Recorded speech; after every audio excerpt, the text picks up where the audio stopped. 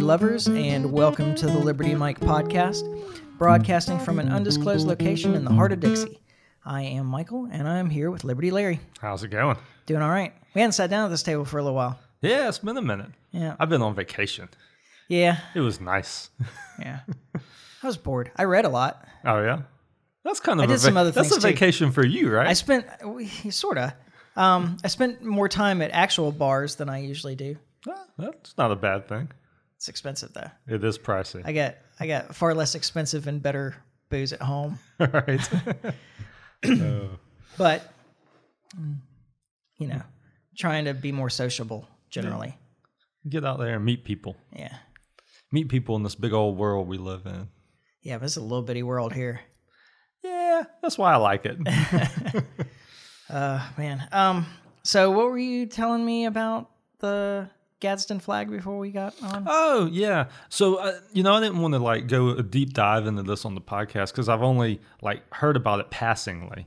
But um, so I'm sure there may be listeners that know a little more about this than have all the details that I don't quite have. But yeah, this kid was um had a Gadsden flag patch on his backpack and was like, Which is, for those that don't know, is Yes. the is the "Don't Tread on Me" rattlesnake. Yeah, yeah, the the common one, the yellow flag. Yeah. and um, yeah, they he got like I don't know if he got kicked out. Of, I don't think he got kicked out of school, but he like got drugged to the principal's office and like this whole big thing over it. And because the teacher was accusing it of being Like a, hate symbol or a something. hate symbol, like a racist type, like like, a slave, conne- connecting it to slavery is what she was doing. She was drawing the line between it and slavery.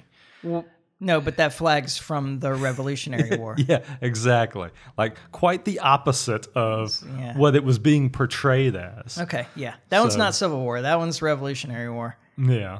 Um, but yeah, There were was- some there were some non-slave states represented on that flag. right. no, completely wild. But so right now, like as we're recording, so I want to know if it was a history teacher. Yeah, that's that, that was my question. Like, what does this teacher teach? Because I mean, just the fact that something so ignorant could come from a teacher. Not that I should be surprised by that, but but it is bothersome. Um, Well, I mean, she might be a younger teacher and have uh, come up since we stopped teaching history. that's very possible. Kind of sounds that way. Um, the blind leading the blind. But but yeah, I'm not sure if the school board or somebody it's been overturned, and that happened like yesterday or something. And but don't tread on me's trending on trending on Twitter Twitter right now or X or whatever we call that. It will be that Twitter platform. Yeah. so which I thought was pretty cool. Like it's pretty neat that you know something that we're into is trending. You know. Yeah. Well, and uh, like I've always liked the uh, the more libertarian approach to that anyway. Like the "don't tread on me" thing is is great, Yeah. but the the libertarian one is like "don't tread on anyone." Yeah. Yeah. Absolutely. Well, and that's the reason I like. It's not just about me. well, that's the reason I like the porcupine over the snake. Yeah. You know, because the porcupine, you know, is like, as long as you don't mess with the porcupine, you're fine. yeah, But once you mess with the porcupine, you get the quills. it's wholly defensive. exactly. Exactly. I don't know if that's true. I wonder if that's true. I don't know. Porcupines don't just like. Well, I don't know. Maybe they do. Maybe they actually do attack with those They things. they could be mean like possums or something. Well, I'm sure they're mean if you mess with them, but like, I mean, Possums I, are mean even I when you don't. don't. I don't picture. Raccoons. Yeah, I don't know. I just don't picture a, a um There's some city people out there going, "What are these people talking we about?" we in the country out here. We're in Lower Alabama. Yeah. We don't have a lot of porcupines out here, but No, there's plenty of possums. there's raccoons. possums though. Oh yes, there is. armadillos. We we got all kinds. Oh man, little- you can find one of those on the side of the road at any time. Yeah. Like, yeah.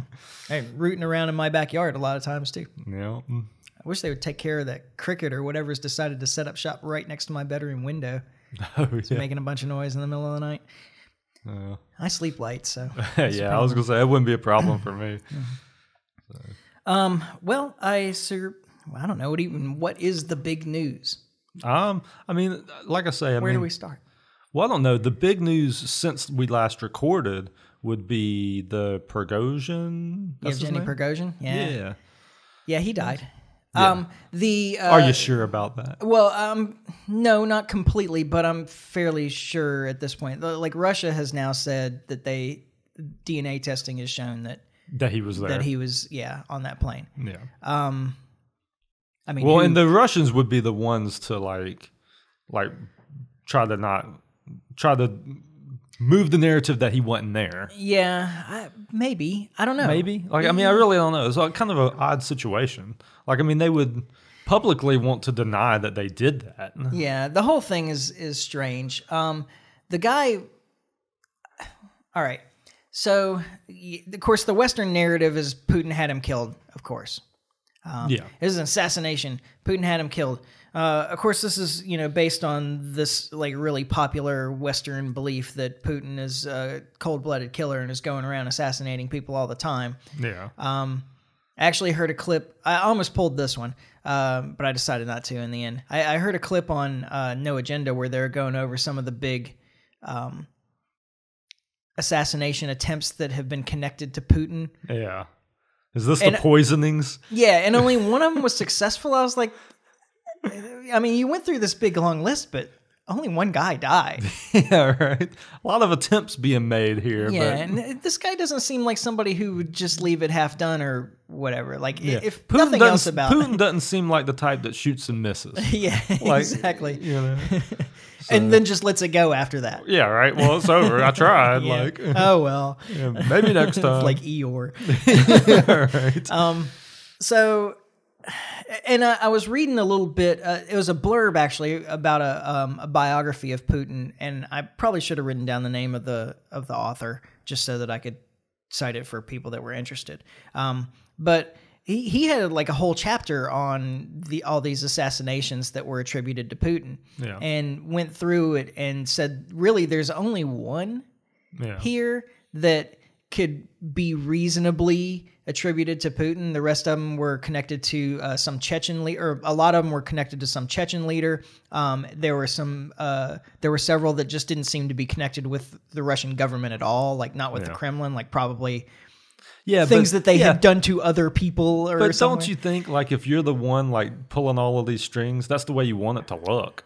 Well, yeah, maybe. I, I, I suppose so. But the point being that all of this is essentially without evidence. Yeah. Like there's there's not really any evidence to, and even the one that he said probably was ordered by Putin, um, or done with his knowledge or whatever. He said even then there's not there's not actually any evidence to connect Yeah. to connect them. And the only thing connecting Prigozhin's death with Putin is that uh, it happened on the same day that Putin um, demoted the uh, the military guy whose name I can't Siro- Sirovikin. That seems right. Yeah. Probably should have written that one down too. Um, uh, Sirovikin, who supposedly knew about the, and I keep saying coup, like put quotes around that. It's not really, a, it wasn't really a coup. Yeah. It wasn't really a coup attempt, even. Yeah. Um, a I mean, it seemed to me more like just a like call for attention. yeah. Like that. That was my take. But Well, that's kind of the the point. Um, but anyway, this guy Sirovikin supposedly knew about it uh, in advance, and um, and the Prigozhin's death happened on the same day that Putin demoted Sirovikin. oh, really? Okay. Yeah, that's the uh, that's how they're connecting it. Oh, yeah. Oh well, it was all planned to get both of these, you know, traitors at once or whatever. So he killed the one and demoted the other one. Like, I, I don't, that, all right. that seems fair. Yeah. so, um, and and that's the thing to remember. Like this quote unquote coup, uprising, protest is probably the best. Yeah. I mean, description. It wasn't against Putin. Like Prigozhin wasn't speaking out against Putin. He was speaking out against um, the military leadership in Russia, uh, primarily um, Sergei Shoi- Shoigu, uh, who's the defense minister, and um, Valery uh, Gerasimov. I have no idea if I'm saying that. I don't know if it's hard G or soft G at the beginning, but anyway, um, and he's the the head of the general staff. Okay. And those are the two people primarily that Prigozhin was complaining about and wanted them removed from office and so forth Yeah. when all this happened. Um, never mind the fact that when the the uprising or the protest was actually happening, if Putin wanted him dead, that would have been a really good time to do it Right. because the Russian military could have crushed that little uprising in no time. It could have killed them all. yeah.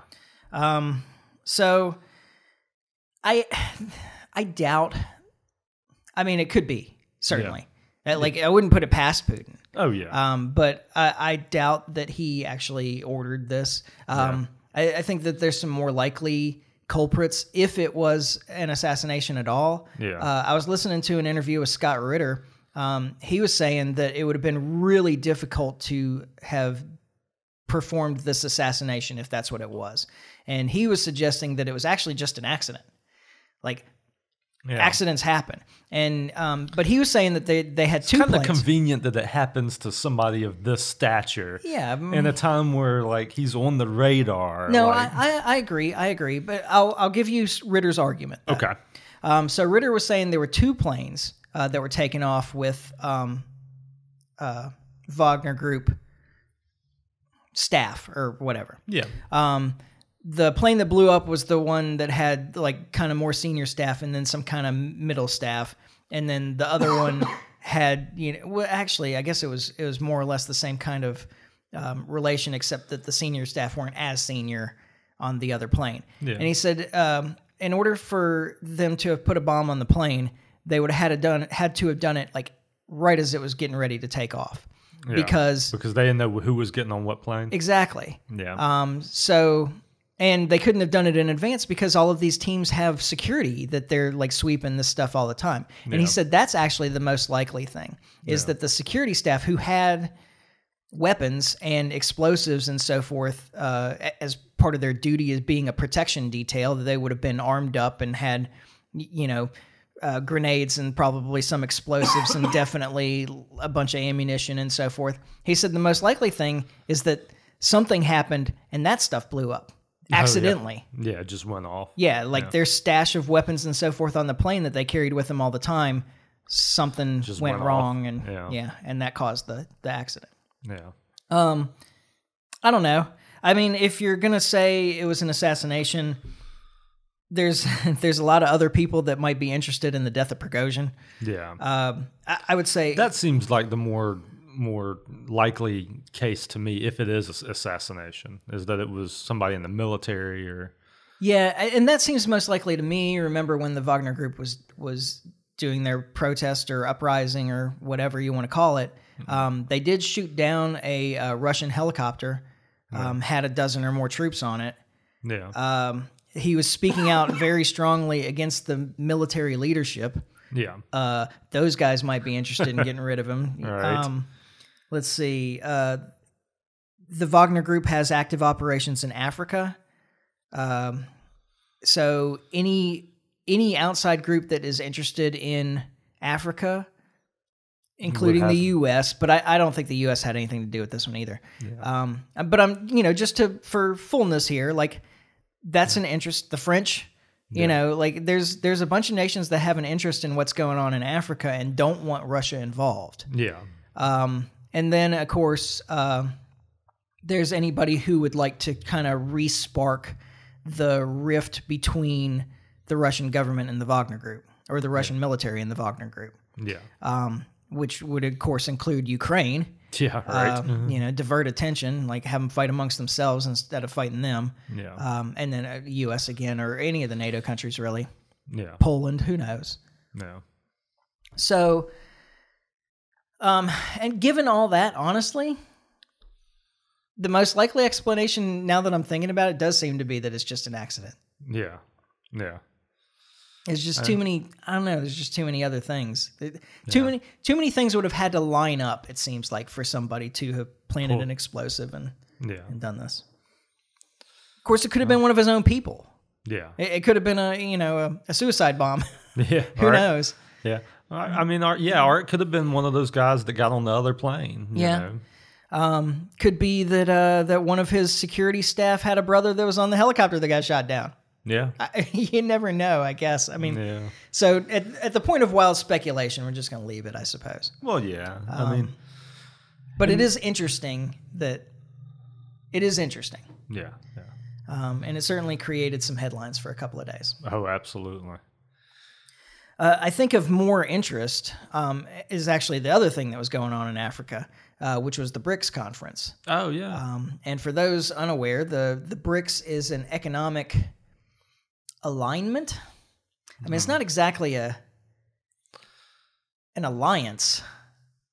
In is a- it more of a like i mean i thought it was more of like a trade partnership Yeah, yeah. So that- I, I would say it's a, it's an economic alignment Okay, between yeah. um, Brazil, Russia, India, China, and South Africa. Yeah. Uh, but they had, um, and and you know, this has been kind of the the counterpoint to the um, the U.S. led economic world order uh, that includes um, like the the World Bank and the IMF and uh, of course the SWIFT system and all all this other stuff. And and that's actually their goal is to create a counterpoint to the U.S. led um, world economic system, Yeah. so that you can function outside of the wor- of the U.S.'s Yeah.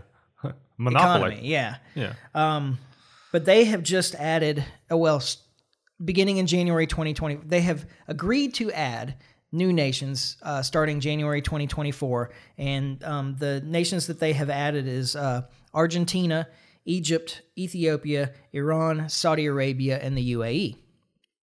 That's This is- interesting. Yeah, this is actually pretty significant. yeah. Um, so I think uh, I think Argentina is the third largest economy in South America. Uh, Yeah. Brazil being the first. yeah. So now they got the first and third largest economies in South America.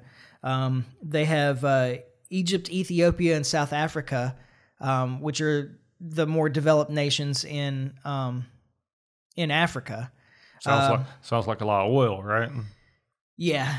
Oh, yeah. Like a, there, there's definitely a lot of oil in this. Saudi, UAE, Iran, Yeah. That's Um, what I'm saying. Like that's and so and of course Ru- Russia. Um, and Russia also is big in oil and natural gas. yeah. um, you know so they they've actually got reasonable economic power here and they're talking about adding additional nations beyond and there are plenty of nations that are interested. And probably the most important thing to note here is that these now 11 nations that will be BRICS starting in January um, they there's a bunch of nations that have good relations with the US it's Yeah. it's not a it's not a group that's aligned against the U.S. It's aligned against the U.S. monopoly. It's Yeah. it's aligned against the unipolar order. Absolutely. Um, and uh, so and and we've kind of forced like the U.S.'s actions, the U.S. decision to use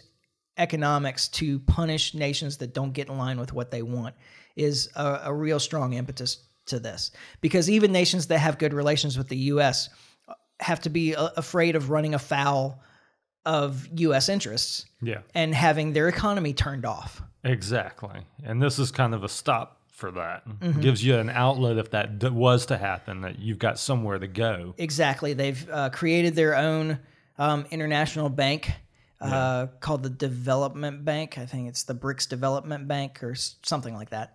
Um, and they're uh, trying to do uh, like facilitate trade between these nations in local currencies. They're trying to de-dollarize. Yeah. Like de-dollarization is a, a big part of what they're trying to do um, to get out from under the U.S. dollar because they don't have to use the U.S. dollar. It's just that most trade happens, international trade happens in U.S. dollars. Yeah. But they're trying to create an organization that trades outside of the U.S. dollar, um, and uh, and isn't dependent on the U.S.'s uh, control of the economic system. Yeah. And uh, and this could be dangerous for the U.S. economy in the long run. Yeah. Oh yeah. Um, I, I don't know. We'll see. I mean, it shouldn't be. I, Well- like the truth is that the U.S. shouldn't really care. It shouldn't be if we behaved ourselves. Yeah. Like that's the that's kind of my take on it is like if we just like traded and was like just a normal country that did normal things, probably wouldn't be a big deal. But we try to leverage our economic power over these other countries, and I think you only do that for so long without creating without there being some kind of backlash to that. Yeah, and this is exactly it. So I- Iran as a part of it um, would no longer be economically isolated. Exactly. Um, the Russia as a part of it no longer economically isolated. Yeah. We couldn't possibly isolate China even if we Oh, wanted yeah, to. there- Uh, like ain't our happening. economies are too interdependent. But they need they but the the BRICS system though needs some of those big economies that are yeah, India's same way. It would be Yeah. really hard to isolate the Indian economy. yeah Um, but but the danger is there, and it, it's enough of a threat to them that they want an outlet. yeah Um, they want a secondary option, and of course, absolutely. Saudi Arabia has gotten really unhappy with the U.S. recently, anyway. Yeah. Um, and uh, you know, uh, Biden was trying to get them on board with limiting oil production, or no, sorry, of stepping up oil production to uh, to counter Russia's oil production, and they were like, no, thanks. no, we won't do that. Yeah. Yeah, we're going to keep things as they are. And now they're joining BRICS Yeah. um, as well. And then uh, something that I find really interesting, we were talking, I don't know, a month or so ago about uh, China facilitating um, diplomatic ties, the restoration of diplomatic ties between Iran and Saudi Arabia. And of course, this conflict, ideological or religious or whatever conflict between Iran and Saudi Arabia. Um, has uh, has been kind of a defining feature of diplomacy in the Middle East for a while yeah. um, and and one thing that peace between them might do is finally actually end the war in Yemen, Right. which would be really amazing. But the the they're both being members of BRICS um, is another step towards them normalizing relations and, and actually developing good relations. And the U.S. and Israel's particularly will not be happy about that. Oh yeah. Um, they're they they leverage the conflict uh, between Iran and Saudi Arabia to keep chaos in the Middle East, um, to maintain you know just a general state of conflict. And if these two nations make friends with each other, like the they were before we got involved, yeah. Right. um, that kind of puts an end to that. And uh, and beyond that, there's actually there's um, there's another economic um, organization. There might be some security ties with this one, but I can't remember. Uh, called the Shanghai Cooperation Organization or something like that. It's the SCO. I can't remember. It's Shanghai something organization. Um, that uh,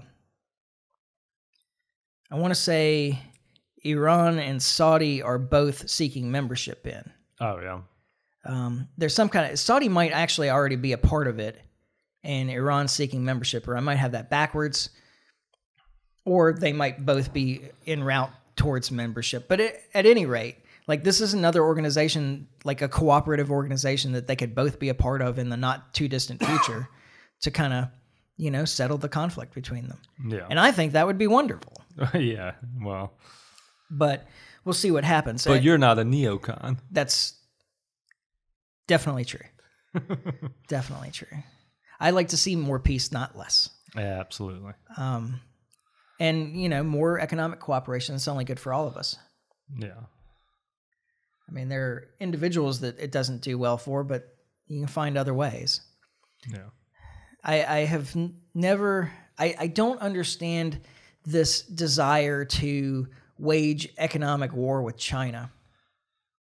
Yeah. This is a thing that comes up over and over and over again. You know, China's taking our jobs. They're building all the stuff that, that we should be building and et cetera, et cetera.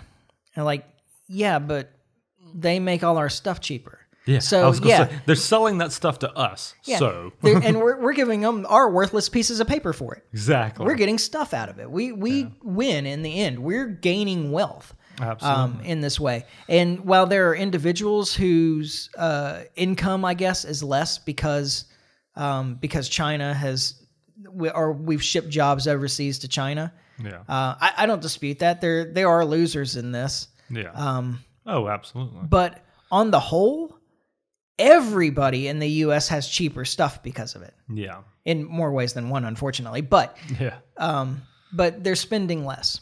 Yeah.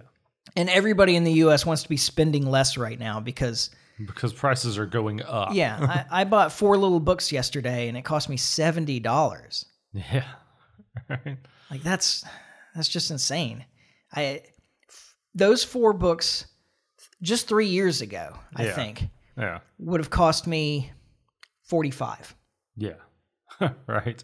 So almost doubled. Yeah. Um, I had a, a meal at a restaurant uh, also, a meal and a drink, and it was thirty bucks, and I'm pretty sure three years ago it would have been twenty. Yeah.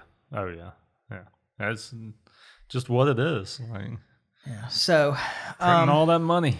And then to to cap that off, the GOP debate happened, and they almost didn't talk about economics at all. Which is freaking insane, man. I mean, there were some people that tried to bring up economics, but it doesn't seem like there were really any questions like So was about that how to deal with it. There was some talk about inflation, and that's was that debate on Fox? uh, as I understand it. Yes, I had a hell of a time finding it though. Yeah. I see. I haven't. I've only caught clips from it. So Yeah, I don't have um, cable TV, and it doesn't look like Fox ran it on their YouTube channel. Oh, really? Okay. Um, and I hunted on Rumble too because I think Rumble had some kind of exclusive streaming agreement for it or something like that. Yeah. Uh, because um, I did hear uh, Glenn Greenwald talking about it. Of course, he's a Rumble partner or something, Yeah. and he was talking about because of that connection, um, he got really good seats at the debate. And he'd never been to one before. Yeah. And and actually, you know what? Let's talk about the setup because what he was what he was saying about that was really interesting. Um, so he said, you know, there were little groups of supporting various candidates around the room. Yeah. Uh, he said, but the the best seats were given to the Republican donors, of course, Of course. and yeah. the microphones were in front of them. That's interesting. So the crowd noise that you hear most of the time, Is the donors? yeah, Yeah. um, Which or at least you- they're the loudest, like they're the most prominent in the. Well, and you can remember this back from when Trump was running, where like Trump would say something and, and start calling the donors out. Like, I know that guy. He's Yeah. a big donor. Blah Yeah. blah blah blah blah. Like, so I mean, this this isn't something new. No, no, point. it's not new, but it was it was interesting listening to Glenn Greenwald talk about the setup. yeah, Um, so he said, you know, of course, the the crowd noise that you hear is skewed towards the Republican donor class, yeah. not your average voter. I mean, of course, we know that anyway, like Yeah. you said, but um, But it was interesting to get like another perspective from yeah, it. Yeah, uh, and eyes on, you know, yeah. Boots on the ground, as Yeah. it were. yeah. Um, so it was it wasn't really that interesting.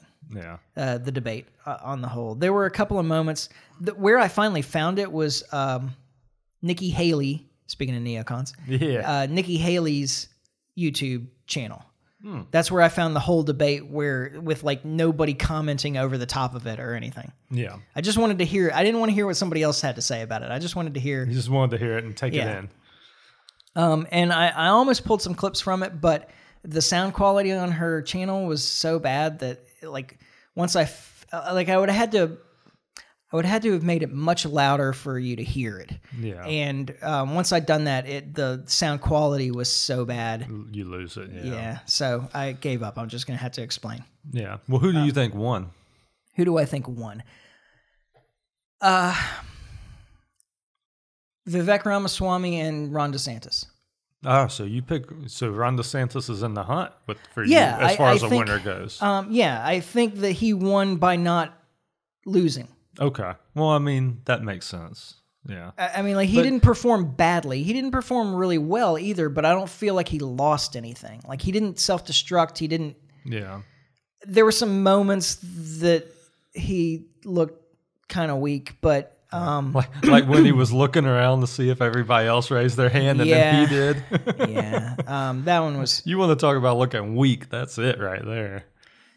yeah the Ukraine thing. Uh, So um, he yeah he did. There were some moments where he didn't he didn't look that good. Um, he didn't. I, I don't think that he performed particularly well. I don't think he performed really. I don't think he performed badly either. Yeah. Um, he said some of the right things, but he he's I don't know. He still feels like he's kind of hedging a little bit. Yeah, I mean, I know uh, for me personally, like a lot of the stuff, I just don't know where he really stands, and I feel like that's intentional. That he Yeah. wants to kind of make these decisions as the campaign goes along. Yeah, there's some. He's he's trying to find a way to separate himself from Trump. yeah, Um, and what he should really ride on is is that culture war stuff, how he handled the the COVID thing. That's that's where he needs to be. tout his it- time as governor. Yeah, and if he wants to, like, and that's a good way that he can separate himself from Trump too, because Trump allowed the lockdowns, Yeah. Trump allowed the mandates, right? Like, you know, he can make these cases that, hey, Trump didn't step in and protect you from this stuff. I did. Absolutely. I protected my people. Everybody that I could, I protected. yeah. Um, and he could separate himself a little bit on the Ukraine thing if he chose to. Now he's that's one of these places where he's kind of hedging, where he's like, "Well, I don't think that we should give any more," but i he's not opposed to the war itself. Like he just wants NATO to step up and do more. yeah. The neighbors to do more. Yeah. Um, but he he could he could put his foot down about that and say, I don't think that we should be a part of it. And, you know, Trump's the guy that gave him weapons in the first place. Yeah. Like Yeah. that's another place where he could separate himself from Trump. Another place where he could do the same is on the vaccines because Trump there's is gonna embrace the vaccine Yeah. program and because he just can't can't help himself not to, you know, because Right. Mm-hmm. he was a part of that. And um and that's somewhere else he could step up and be like, look, you know, they want to force you to take these things. How do you feel about that? You Yeah. know? For people that were big fans of like uh, George W., Nikki Haley did fine. Yeah. Yeah. I mean, like if you're if you're on board with the American empire, yeah. she sounded confident and competent.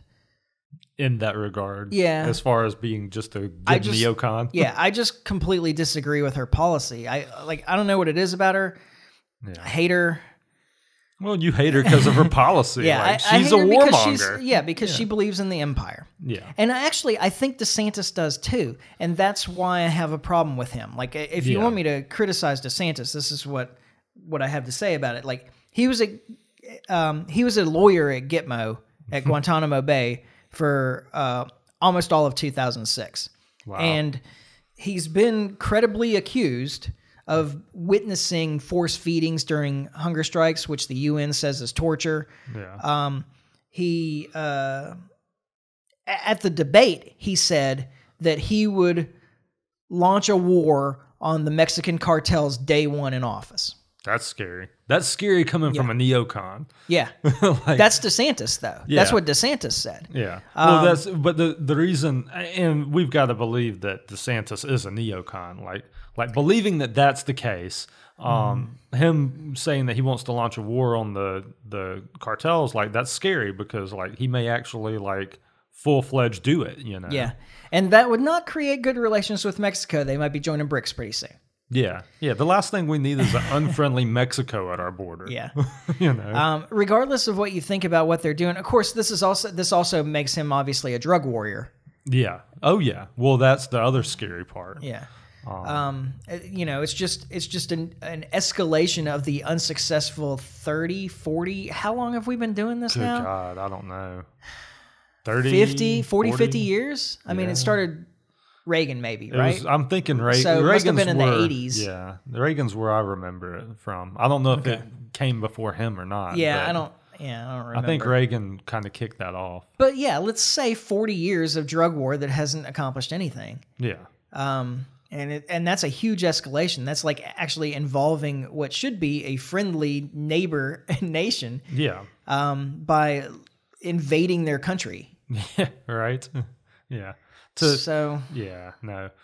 Uh, we, we should be going the opposite direction. There, there is a good way to wage war against the cartels, Mm-hmm. but it's not to bring in the military and physically go to war with the cartels. It's to put them out of business. yeah, I mean, that's that's what that's how you win this war. Mm-hmm. Is you just don't give them a, a client base anymore. yeah. I mean, it worked with the with the gangs after at the end of Prohibition. Yeah, absolutely. That's that's actually yeah, that's a really good example. Same same style of attack. Mm-hmm.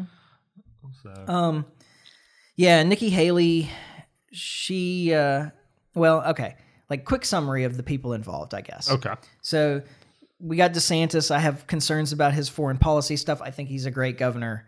Um, He that's where he should stay. let him stay there. Yeah, Yeah, I don't want him in control of U.S. foreign policy yeah. because that's where he scares me the most. That's where he's absolutely the worst. Yeah. and he doesn't have any control over that as a governor, but he has almost complete control of that as a president. All right.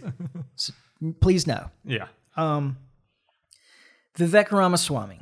Uh, he says a lot of great things. Yeah. Um, to me, this may sound silly. Okay. I, I, I don't. I don't know, but to me, he's too polished. It, it makes him come off as insincere. So so I had said the same thing. There's something about his cadence that's off to me. And and I think that's what it is is just what you're saying. It's too polished. Like he he talks in this cadence that just seems scripted. Yeah, yeah, yeah. It all seems like a, a show. Yeah. and it it makes him come off as insincere to me. Um, he's got charisma. Uh, Yeah. He's clearly very smart. Um, Oh, yeah. He's quick on his feet. Like there's a lot of things that I, and I'll tell you after actually after watching that, like these first two guys, DeSantis and Ramaswamy, Yeah. were definitely the two smartest people on the stage. Okay. Yeah.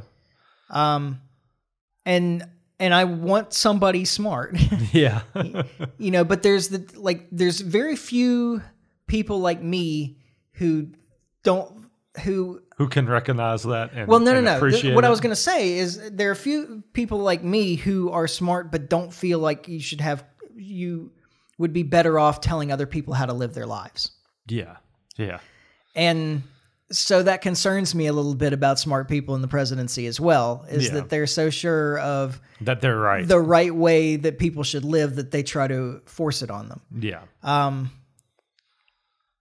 like I you know, I don't know. Uh, it, it may not be a concern. Certainly, the things that Ramaswamy is saying wouldn't suggest that he would be that way. But I Yeah. just, I, I don't know if I can.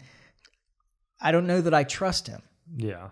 Well, I'll tell you my take. I like him. Like I like I like Vivek. I think he's um I don't know. I, everything you said. I think he's charismatic. I think he's smart. He seems to have the right positions. Um so I like the guy. And he knows them in depth, actually. Yeah. Well, did you hear him on part of the problem? Yes. Dave Smith did an interview with him. Mm-hmm. like that was the first I had ever heard of him. I was like, all right. I didn't realize how big he was that he was like actually like polling well enough to be in the debates and stuff when he had Yeah. his debate, but or not debate, but when he had his appearance on Dave Smith. But um but I liked him. I was like, this guy's this guy's sharp. Mm-hmm. My kind of takeaway from just the clips and what I seen from him at the debate though tells me he may be auditioning for something. Well, okay, so yeah, the we should come back around to this because this is this relates back to Trump. Yeah. Um, but I think that he what the way he's positioned himself is he's the not Trump Trump. Trump. Exactly. You know, so if or we may as well address it now, I guess. If if some for some reason legal issues assassination yeah, whatever the case may whatever. be. Yeah. um, whatever the cause may be, or just the Republicans not being willing to give Trump a nomination because of concerns about the legal issues about whether he might be on the ballot in all the states, because you don't want Yeah. your candidate as the Republican Party to not be on the ballot of every state. And there are states that are threatening that because of the legal issues that he wouldn't qualify for their ballot and so forth. So my friend I saw this weekend Mm-hmm. said we're going to be writing in Trump this this next go Yeah, well, not in this state. That, well, that's what he said. Like, all I'm saying is he said be prepared to write him in. Yeah, well, I wouldn't write him in either, but Well, I'm just I saying. wouldn't vote for him if he was on the ballot. I'm just so saying the the ground. I mean, he's hearing Yeah. that from somewhere. Like Yeah, well, I, California is already threatening to that yeah. that they have cause to, that he would him. yeah be disqualified from their state ballot or whatever. Yeah. Um, so if other states do that, then that puts the Republican Party in a weird position yeah. because he he's popular enough with the Republican base that like the Republican Party, the GOP is not going to want to not put him forward if he goes through the primaries and and wins. Wins absolutely. At the same time, the GOP does not want to put a candidate forward That's that- not on the that's not on the ballot. ballot in every state. yeah. Right. So yeah. They're not the Libertarian Party. yeah, so this is this puts them in a weird position. I mean, like you know, they could care less about California. Like California's Yeah. not going to Trump anyway. But Yeah. um, but there are states where it would matter. oh, absolutely, it would. So hard to say. It, but if for some reason Trump is not the the GOP nominee, yeah. and the base is really pushing for a Trump Character. character, then Vivek has set himself up to be that guy. Yeah. Absolutely. Um, I, I'd agree with that. yeah. So uh, then, of course, there's Mike Pence. Yeah. Talk about I- an empty suit. Exact. That's exactly what I wrote down. Actually, I wrote down empty suit. He is. He's like the definition of it, as far as I'm concerned. Yeah. He Even was- when, even when he was vice president, I felt that way. He's just he. There's nothing there. He took a no couple of little jabs at Ramaswamy during the debate that were kind of interesting, actually. But, Oh really? um, but the person that actually took the best jab at Ramaswamy was uh, Chris Christie, Yeah. who I just wrote down douche. Like I don't I like Chris. Christie at all. He's just oh god. But there is like he has a a weird. Actually, he has a weird kind of Trumpian charm because he's so Brash. Yeah, exactly. Yeah. And he called uh, Ramaswamy the Chat GPT candidate or something like that, which I thought was pretty good. Uh, like I laughed at that. I was like, that okay, that's that's yeah. He sounds like Chat GPT or something like that. I don't remember exactly what he said, but It it seems kind of racist, but it's kind of funny. it was yeah, it was good. I didn't even think about that. Um, but uh, anyway, yeah, don't care much for him. Tim Scott, I don't really have anything to say about. He's Yeah. he's fine. yeah. I mean, he's just he's just average. He's yeah. he. I don't know. He seems like a nice guy. I don't know. I don't know what to say about him. I actually didn't make any note about Tim Scott because he just didn't I don't know much about him. To impress me in any you. way. Yeah. Um, Was he a governor at some point? yeah, South Carolina, right? Okay. I think That sounds right. Like I, I want to. I, I don't know. something like that. Yeah. Um, we'll come back to Nikki Haley. Yeah. uh, you know, Nikki Haley, she's just she's just a neocon. yeah. That that's it. She's there. She's there promoting the Biden foreign policy. That's what she's there doing. right. Which I, I, I mean, You can why, appreciate. Yeah, why even be there? Yeah. Is actually what I thought. Like, Yeah. if you're promoting the foreign policy and that's your primary role as president Yeah. of the guy who's in office right now, why? Are you, what are you competing for? Yeah. right. Com- I I guess the only thing that you're competing for is to make sure that people don't have a choice. yeah. Right. you, you get the Biden foreign policy or you get my Biden foreign policy. Yeah. Exactly. I don't know. Um, but she and uh, Ramaswamy went back and forth a little bit, and like her bit on the foreign policy, on the Ukraine specifically, bit like this is where I wanted to pull some clips because she just lied. Yeah. I, I Like, heard the clip. She just said a bald face, bald face, bald faced. I don't know what the I expression actually is. Me either. Um. Anyway, she told a big effing lie yeah. That Putin uh, had said that when he once he was done with Ukraine, he was going to invade Poland next. Yeah. Which is just like, Bull.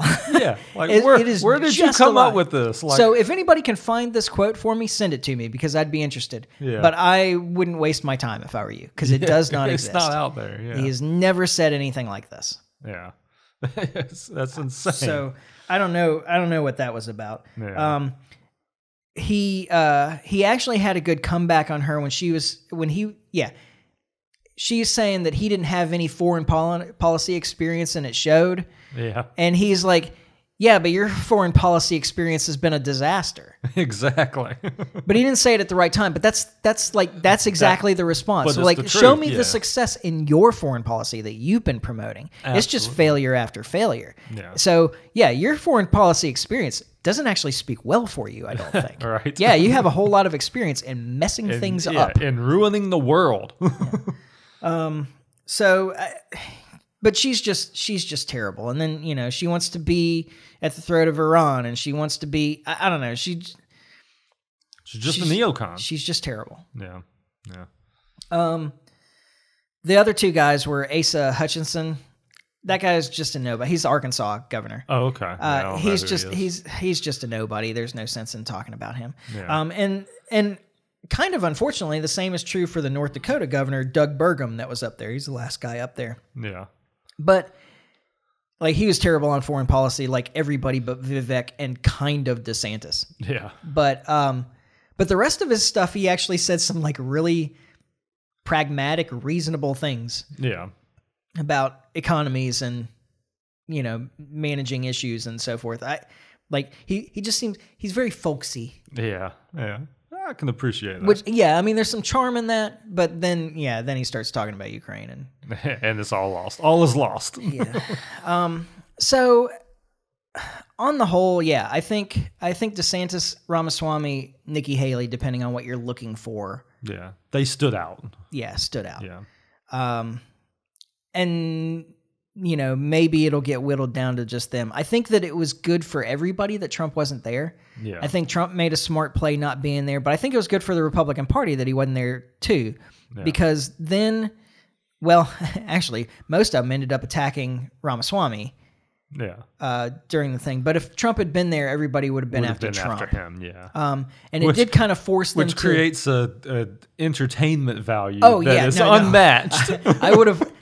That part I would have loved. television, as far that's as I'm that's the unfortunate thing about Trump not being there is that we didn't Yeah. get to hear Trump engage with these people. Yeah. But um, it did kind of force them to uh, to kind of focus on what's wrong with the existing administration instead of trying to attack Trump. yeah.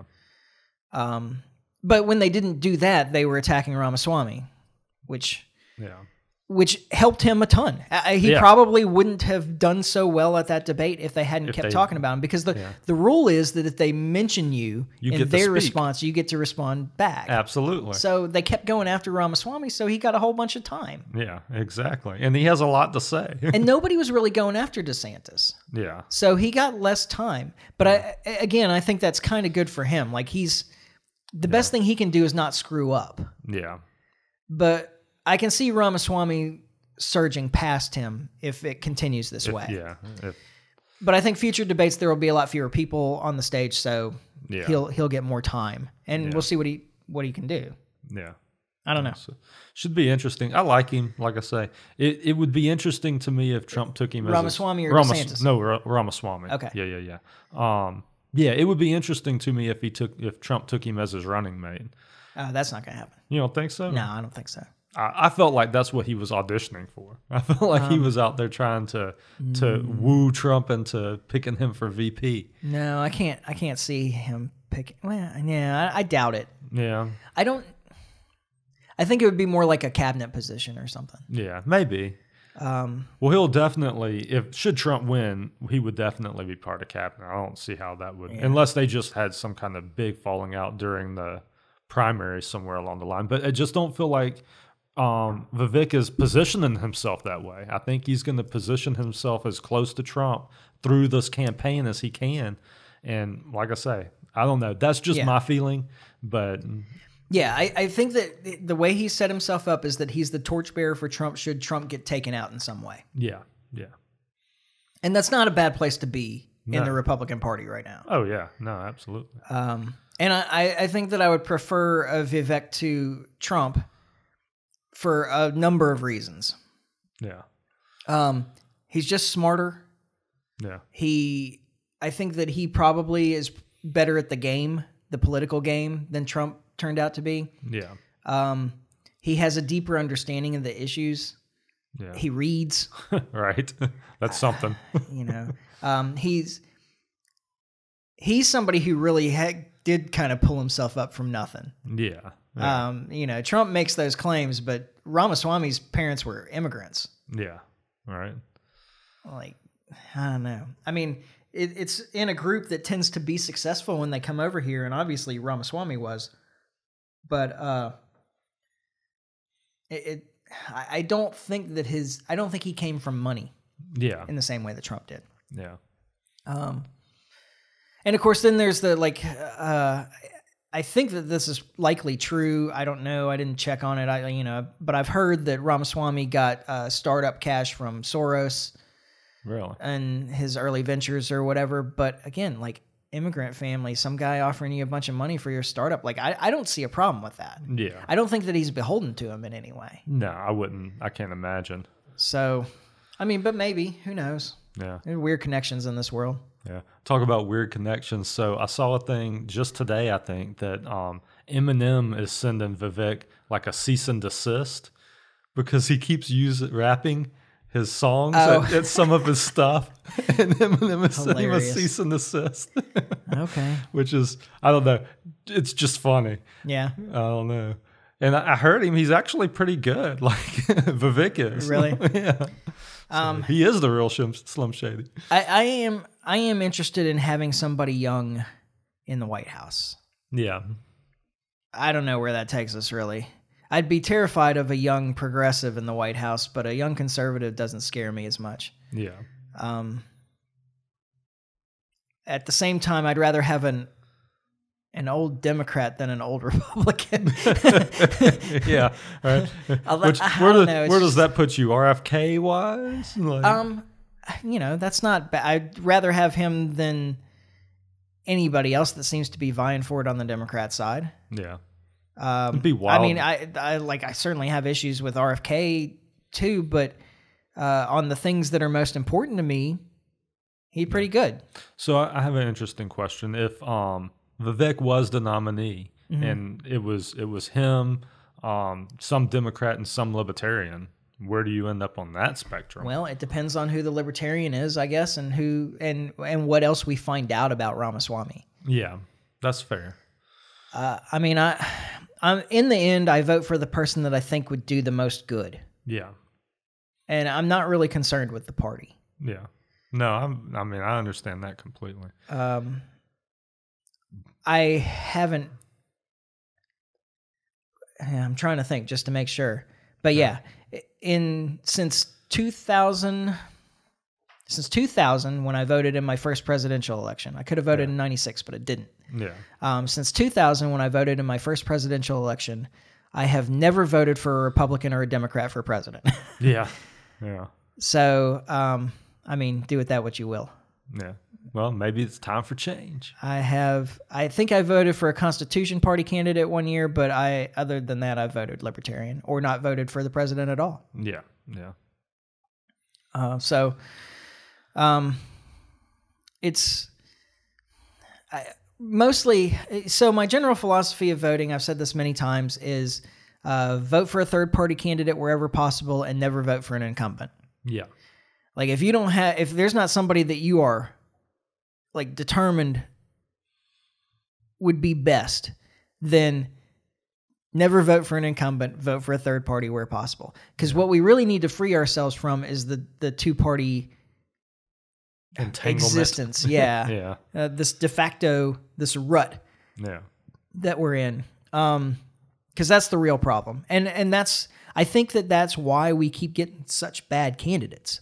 yeah, is that the R's and the D's both have figured out that um, fear of the other side is a way more effective tool to motivator to Oh, get yeah. people to vote. yep, So it doesn't matter how bad your candidate is. What you got to show is how bad the other candidate is. exactly. And and you're not going to get people voting for you because of how good your candidate is nearly as effectively as you're going to get people voting against the other guy if you can show how bad they are. yeah, I mean, is it possible, really, that in however many years it's been, that the best candidates this country had to offer for president were Donald Trump, Hillary Clinton, Joe Biden? right. Which it looks like it's going to be three elections. Those are going to be the three candidates that were available to you yeah, Hillary Clinton, Donald Trump, Joe Biden. That's just That the best this country, there's 330 million people in this country. That's the best that we can do. right. Cannot be. Yeah, no, no way.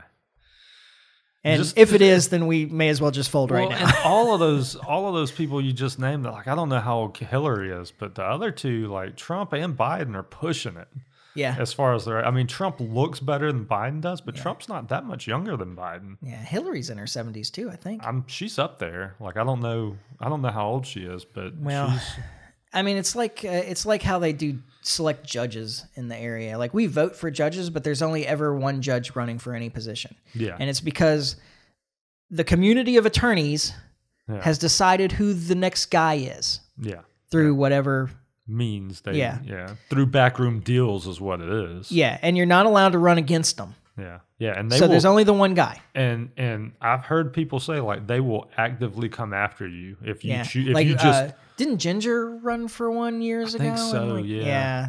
Anyway, Yeah, like it's it's not a ple- they don't make it a pleasant experience if you're the outside guy just going to get on the ballot. Mm-hmm. yeah, you Like, just ruin your career. exactly, exactly. Mm-hmm. So and you're not going to win anyway, so then you're double screwed. Yeah, and you might be hundred thousand dollars in debt to uh you, for um your education still. Yeah, exactly. so, you don't want to ruin your career when you're in that position. Yeah, Uh, well, I don't know. Um, we'll we'll see what happens. There's there's still, you know, there, there's more than a year. it's Until this it's going to be an so- interesting election. I'm I'm excited to see kind of how things play out. Um, I am glad that there are people like Ramaswamy out there saying what they have to say. RFKJ out there saying what they have to say. Something different, something outside of the the mainstream, at least a little bit. I mean, Yeah, it's you know they're they're not pushing obviously as far as I would like to push, and we'll see what happens with the um, with the libertarian candidate if we get somebody who can effectively communicate. A, a lot of people uh, liked our interview with Mike ter Maat. Yeah, yeah. Um, I like that got a good response. I like him a lot. I mean, you know, I think I, I think that there's an opportunity for us to put up a strong candidate. Mm-hmm. I don't know who that is yet. It may, if it's if it's ter Maat, then more power. Like I'm Yeah. all for it. The only question is like, do you get media time if you have a strong candidate? Yeah, well, you're gonna have to fight for it. But I'll tell you, the other thing is, and that's what makes this election so much different. And the last one was that way in many ways too. Is like the mainstream media just doesn't have the stranglehold it used to. That's like, true. And this this election in particular, it might be won through podcast, man. Yeah. RFKJ and Ramaswamy both have pushed up in the polls just doing alternative media. Yeah, which I don't think it's alternative anymore. I think I think that I think this election may be the one where we see that the alternative media is the media now. Well, I mean, there's something to be said for that. Certainly, um, I'm, I'm not sure if this happened, if this has happened so much on the left, but you know, like two big voices on the right that were mainstream that are now outside of the mainstream are Tucker Carlson and Megyn Kelly, and they both have huge shows. Yeah, yeah, exactly. So, oh, what was? I thought you was going to name who's who's the guy that has the blaze. Oh, uh, I can't think of his name. It's I not there. but I mean, he's Yeah. done he's done really well since leaving Fox as well. Yeah. you know. it's true. So I mean, there's like I say, I just we'll see as time goes along here, but I do think that that this is the new medium. You know, Glenn Beck. Glenn Beck. That's it. I don't know why I couldn't think of that. so, Uh, so yeah, like I say, it should be. It'll be interesting to see how it all plays out. Yeah, I imagine that's true on the left though too. Like, uh, you know, you got. I mean, this isn't the left exactly, but the the so the big alternative media shows are interview shows. Yeah, Tucker Carlson, Megyn Kelly, Joe Rogan, yeah. um, Glenn Beck. Uh, his show, his show's an interview show, isn't it? he does interviews. I don't know if that's what it is Oh. um, entirely, but it may be. I don't know. Yeah. Um, I can't think of any others right now. Yeah.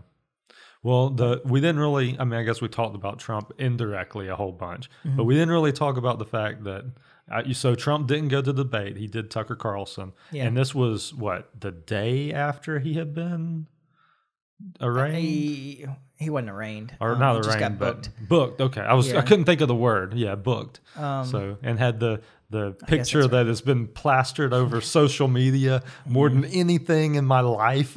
Like, yeah, um, from the left and right. Like, and it's so funny. I see that picture on people's profiles when I'm just like scrolling through comments because everybody's like throwing it up there. I don't know if they're actually supporters of Trump or like dissidents of Trump. Oh, because they just put the picture on the profile. It's like I don't know where you stand on this. yeah, we're running a little over time here, so I'll try and keep this short. But this is something that I find really interesting that I think was a huge mistake by the Democrats. yeah, Um, I think it's a huge mistake for them to go after him in the way that they are, and I think it's a huge mistake for them to promote it the way they are, Yeah. because there's a whole lot of poor people in this country that feel like that the system is working against them. That, that that either have had it happen to them Mm-hmm. personally or have a friend or a family member that the system has absolutely destroyed. yeah, Um, like, I mean, this is personal for me. Mm-hmm. I've got family and friend members both that have been destroyed by this government system just in in this way. Mm-hmm. and law enforcement specifically. yeah, exactly. Yeah.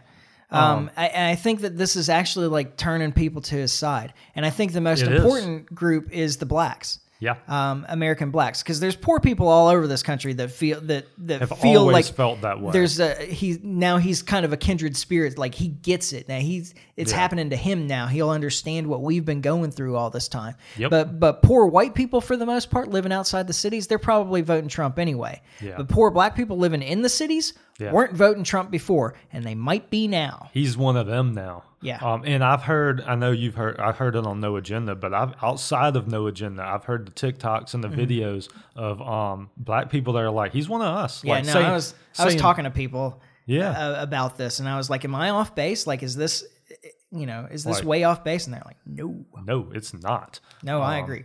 So Like, okay, I mean, we we could. I mean, we could potentially be setting him up for a landslide victory. Yeah. And what does this country look like if Trump wins in a landslide? like what? Uh, what does, shudder to think. I mean, like in all seriousness, like Yeah. it could, it could, things could actually get worse. Like Yeah. it, it could get, it could get really bad.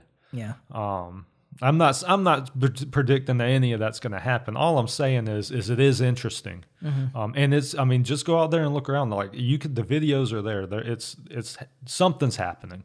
Yeah. So, I did want to talk a little bit about the resurgence of COVID, but we'll just leave that for another time.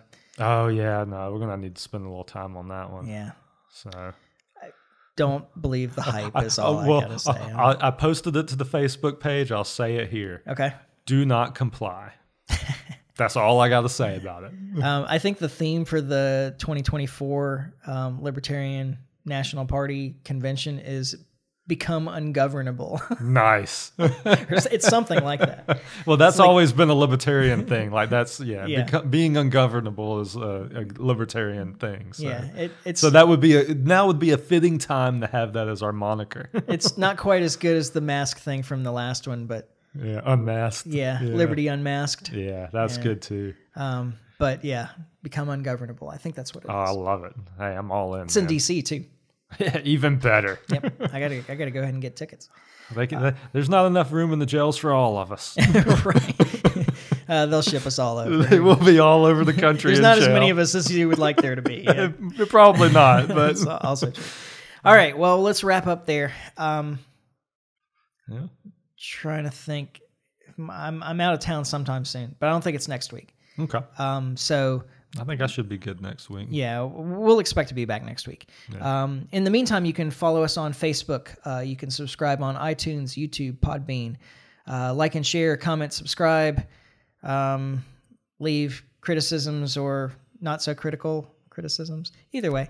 Um, reviews. That's the word that I was actually looking for. We also for. like those. Yeah, reviews. Your reviews are nice. Um, they help a lot on iTunes. Well, actually. I was gonna say like, and something I just kind of thought about was hearing today. Like, it really helps us when you interact with us because Mm-hmm. the algorithms on all of these social media sites are pushing against us. Yeah. us, not us specifically, but people like us. Yeah. So any type of interaction, likes, shares, all of that stuff really does help because, like I say, we're fighting the system. yeah, help us shift the Overton window. Yeah, absolutely. All right, and uh, and you can do that by uh, coming back with us here next week when we finally get this right. And in the meantime, try to stay free. Life short, live free. Ciao. Later.